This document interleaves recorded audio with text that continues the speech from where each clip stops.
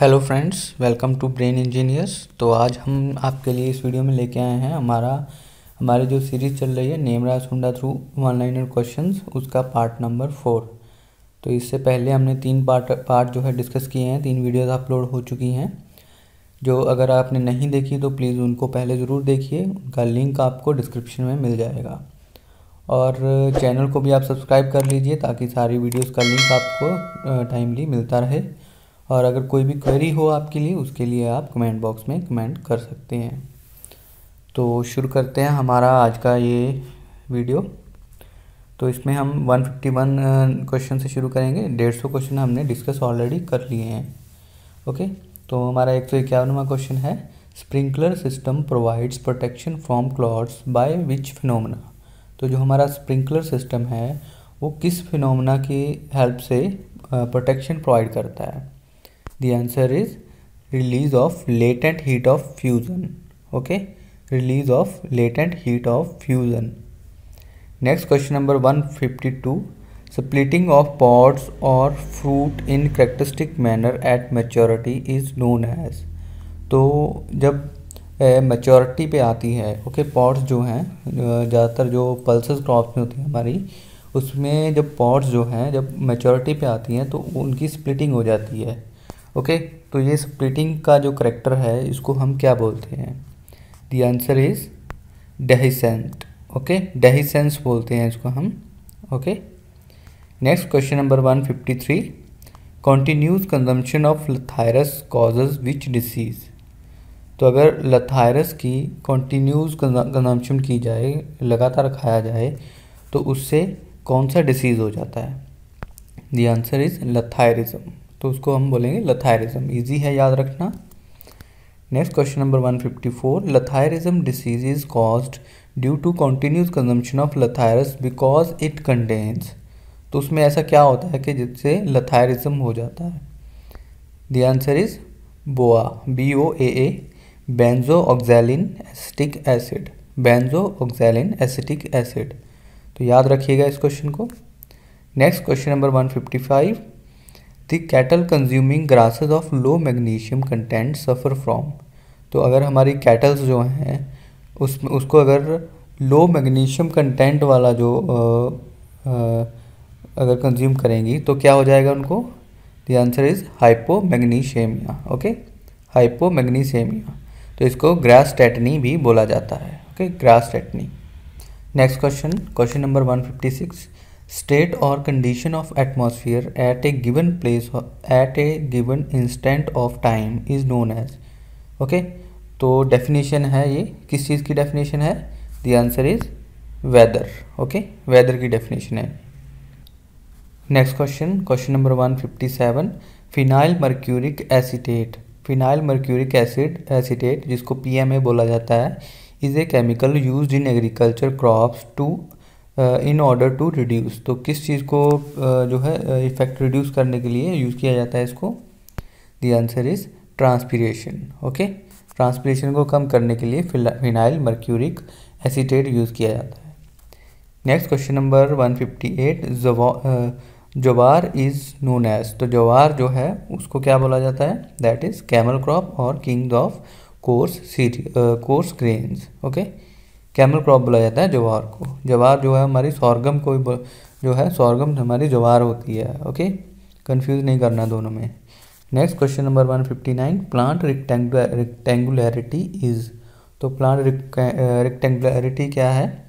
That is plant to plant distance and road to road distance okay तो जब इसको measure करेंगे तो ये हमारी प्लांट रिक्टेंगुलरिटी आ जाएगी।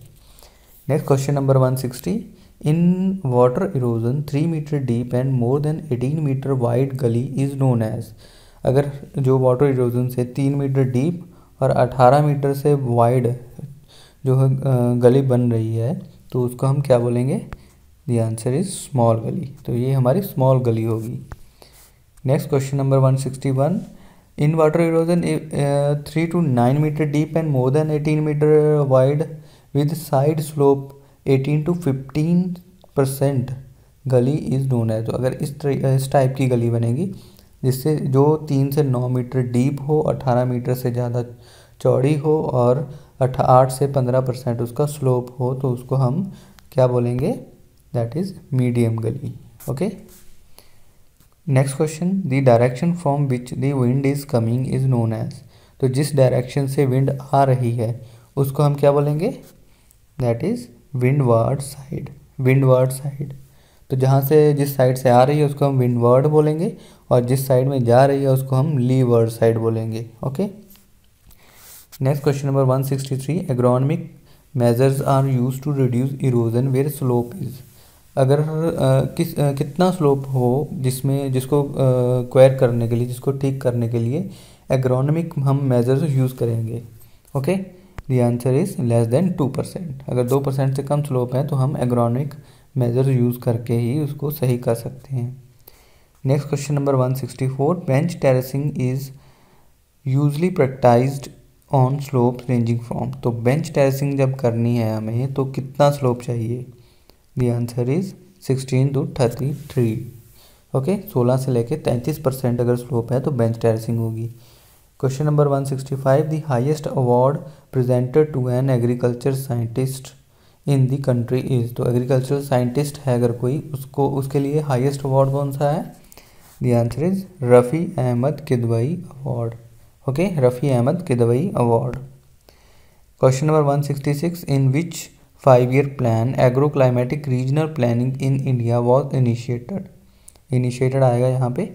ओके तो किस फाइव ईयर प्लान में शुरू की गई थी? Agro climatic regional planning the answer is seventh five year plan okay next question number 167 nitrogen fixation in rice fields is carried out by blue green algae with water fern तो कौन सी butter fern के साथ मिलके nitrogen fixation की जाती है? Blue green algae से।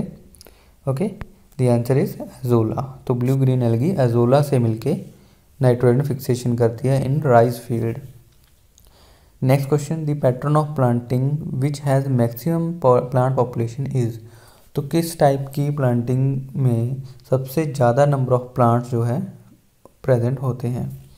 The answer is cuboidal cuboidal pattern में अगर हम प्लांट करेंगे तो सबसे ज़्यादा नंबर ऑफ़ प्लांट्स हम उसमें प्लांट कर सकते हैं। Next question cultivation of crops which have different natural habits and zero competition is known as तो उन क्रॉप्स को हम क्या बोलेंगे? जिनका जो है नेचुरल हैबिट भी डिफरेंट है और कंपटीशन भी ज़ीरो है तो हमारी वो पैरेलल क्रॉप्स होंगी ओके पैरेलल क्रॉपिंग होगी वो। मतलब तो पैरेलली चल रही है, दोनों का एक दूसरे पे कोई इफ़ेक्ट नहीं है। Next question number one seventy the variety of wheat which is resistant to all the three rust तो वो कौन सी वैरायटी है वीट की? जो तीनों की तीनों brown brown rust yellow rust और हमारी ब्लैक रस्ट तीनों के लिए जो रेजिस्टेंट है। दी आंसर इज़ छोटी लर्मा ओके छोटी लर्मा। तो अगर आप हमें कमेंट बॉक्स में बताएँगे कि जो तीनों रस्ट हैं, उनको, उनका कॉजल ऑर्गेनिज्म क्या है ओके उसको आप कमेंट बॉक्स में लिखने लिख के बताइए। Next question number one seventy one how many time the ratoon crop of sugarcane is advisable तो जो अगर हम रेटून क्रॉप ले रहे हैं शुगर केन की तो कितनी क्रॉप्स हमें लेनी चाहिए एक एक बार प्लांटिंग करने के बाद? तो एक ही हम रेटून क्रॉप लेंगे ओके वन टाइम तो एक बार हम ग्रो कर रहे हैं जैसे फ़र्स्ट ईयर में, उसके बाद उसको हार्वेस्टिंग हो गई, उसके बाद जब दोबारा उसी से, उसी प्लांटिंग से जब ग्रो कर रहा है तो एक ही फ़सल हम उससे लेंगे okay next question number one seventy two cultivation of two और more than two crops of different height simultaneously on a certain piece of land in a certain period is known as तो ये definition है, किस चीज़ की definition है ये? The answer is multi storeyed cropping okay multi storeyed cropping question number 173 nursery area required for seedling of one hectare rice field is तो अगर हमें एक हेक्टेयर राइस फ़ील्ड में प्लांटिंग करनी है तो उसके लिए कितना नर्सरी एरिया चाहिए? तो उसका दस परसेंट चाहिए होगा that is point one hectare okay point one hectare question number one seventy four tip burn of paddy is due to अगर पैडी में टिप बर्निंग हो रही है तो वो किस चीज़ की वजह से हो रही है? The answer is reduced O two and N two under submerged condition तो राइस ग्रो करता है सब मर्ज कंडीशन में तो वहाँ पे ओ टू और एन टू की डेफिशिएंसी हो जाती है ओके अवेलेबिलिटी कम हो जाती है तो इसकी वजह से टिप बर्निंग होती है पैडी में next question red and purple colour of maize leaves due to the deficiency of तो किस न्यूट्रिएंट की डेफिशिएंसी होगी अगर रेड और पर्पल कलर हो रहा है मेज में ओके तो आंसर आएगा इसका फॉस्फोरस फॉस्फोरस की डेफिशिएंसी से. Next question the size of Thompson seedless grape is increased by the application of hormone Thompson seedless grape है, उसका साइज़ हम कैसे इंक्रीज कर सकते हैं? The answer is G A three okay gibberellic acid अगर हम अप्लाई करेंगे तो उसका साइज़ इंक्रीज हो जाएगा। Next question number one seventy seven agronomy is derive from two dash words कौन से वर्ड से डिराइव है? ग्रीक वर्ड तो दो ग्रीक वर्ड से बनी है agronomy word first one agros meaning field and nomos meaning to manage okay तो दोनों का मीनिंग आपको याद रखना है और ग्रीक वर्ड है, ये याद रखना है। और वहीं अगर एग्रीकल्चर पूछ लिया जाए एग्रीकल्चर वर्ड किस लैंग्वेज से है तो वो आएगा हमारा Latin word okay agriculture Latin है और एग्रोनमी ग्रीक वर्ड है, दोनों डिफरेंट है। Question number one seventy eight definition of agronomy agronomy की डेफिनीशन क्या है? The answer is branch of agricultural sciences that deal with methods which provide favourable environment to crop for higher productivity okay तो वो हमें method agronomy क्या करती है? वो मेथड प्रोवाइड करती है जो हमारे एनवायरनमेंट के लिए भी फेवरेबल हैं ओके okay? और क्रॉप के लिए भी फेवरेबल हैं और उसकी प्रोडक्टिविटी भी इंक्रीज करते हैं। Next question number one seventy nine who is known as father of agronomy father of agronomy किसको जाना जाता है? The answer is Peter Decrescenzi ji okay Peter Decrescenzi ji question number one eighty who is the author of book opus ruralium commodorum okay एक book है ये किसी foreign language में है तो किसने लिखी है ये? The answer is Peter Decrescenzi ji जो कि फादर हैं एग्रोनमी के। Next question who said that main principle of vegetation is water तो मेन प्रिंसिपल वेजिटेशन के लिए वाटर है तो ये किसने बोला था? The answer is van Helmont okay van Helmont next question who is known as father of wheat science wheat science का फादर कौन है?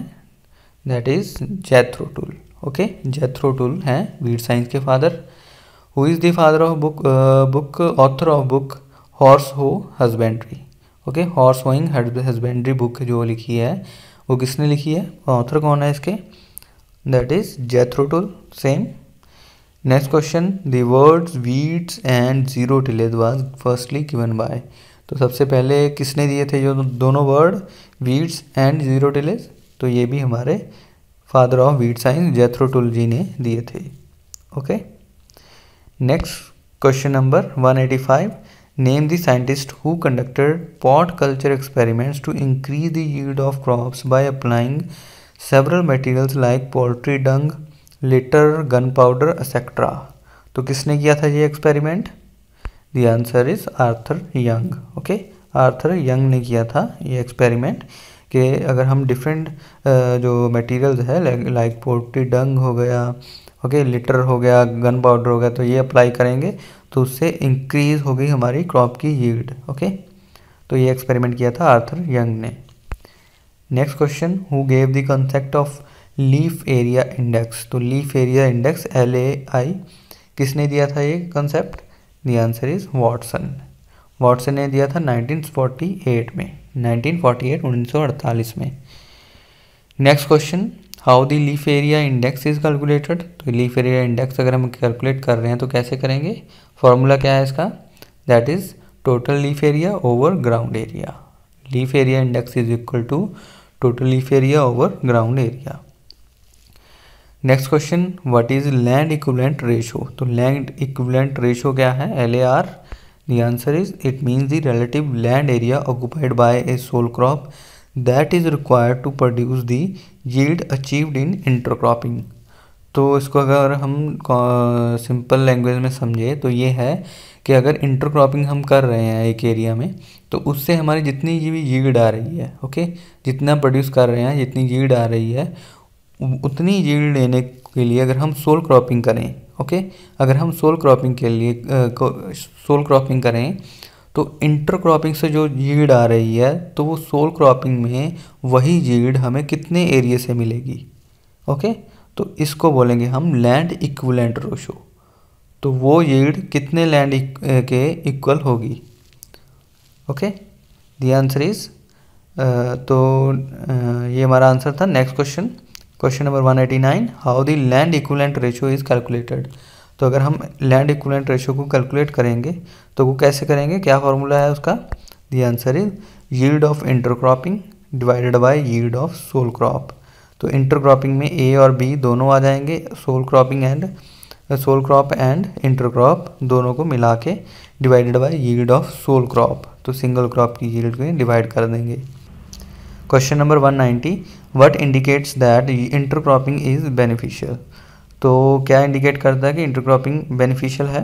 The answer is land equivalent ratio is more than one okay अगर देखिए एक से एक रहेगी तो इसका मतलब है जितनी यील्ड इंटरक्रॉपिंग में आ रही है उतनी ही सोल क्रॉपिंग में आ रही है ओके अगर वो एक से ज़्यादा है लैंड इक्वलेंट रेशो तो इसका मतलब है कि दोनों में जो आ, हमारी जो इंटर क्रॉपिंग है उसमें हम ज़्यादा ज़्यादा यील्ड ले रहे हैं अगर हम सोल क्रॉपिंग करें उसी एरिया पे।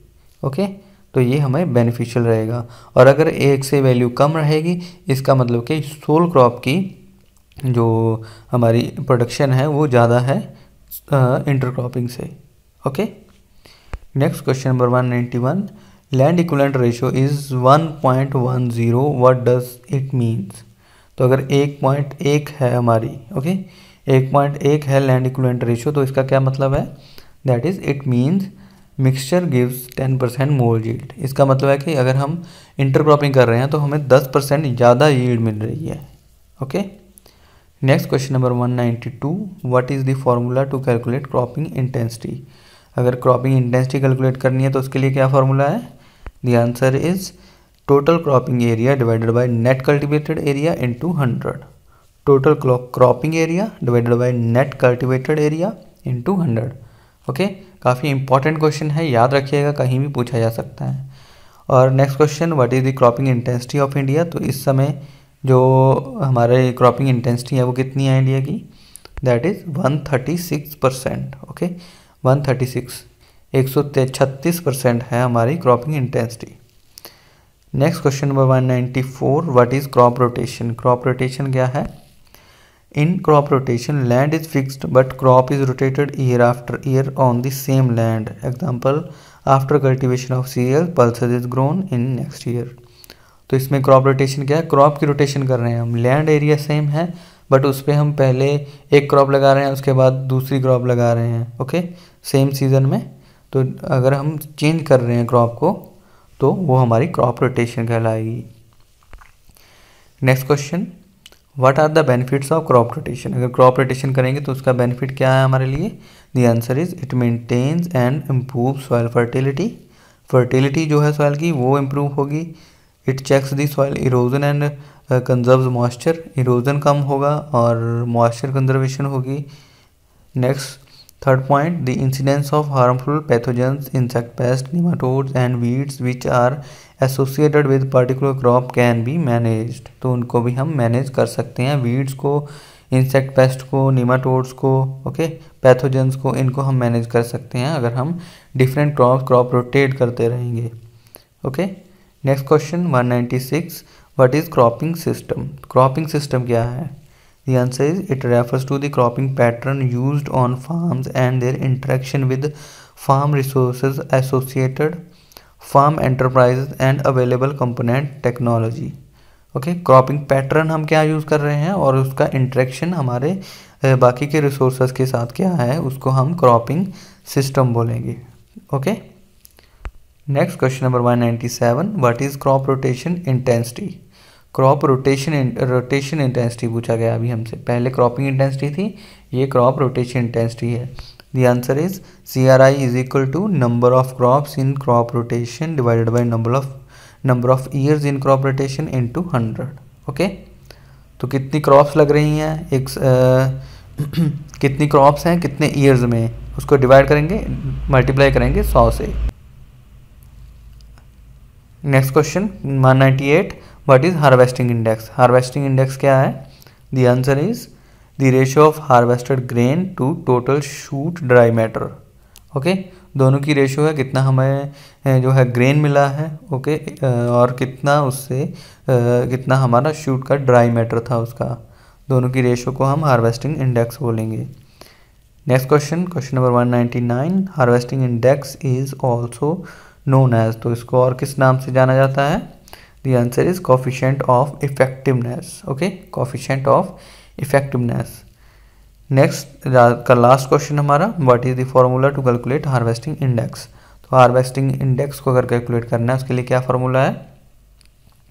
The answer is harvesting index is equal to economic yield that is grain yield divided by biological yield that is grain plus straw okay into hundred तो economic yield over biological yield into hundred तो इस फॉर्मूले से हम harvesting index निकाल सकते हैं। तो ये थे हमारे आज के 50 क्वेश्चन तो पार्ट नंबर फोर था हमारा ये। आई होप वीडियो आपको अच्छा लगा होगा। और वीडियो अच्छा लगा तो वीडियो को लाइक कीजिएगा शेयर कीजिए और चैनल को सब्सक्राइब कर लीजिए। इसके अलावा आप हमें टेलीग्राम पे और इंस्टा पे भी फॉलो कर सकते हैं। दोनों का लिंक आपको डिस्क्रिप्शन में मिल जाएगा और इसके भी इस पर भी आप हमें फॉलो कर लीजिए। तो मिलेंगे नेक्स्ट वीडियो के लिए। तब तक के लिए थैंक यू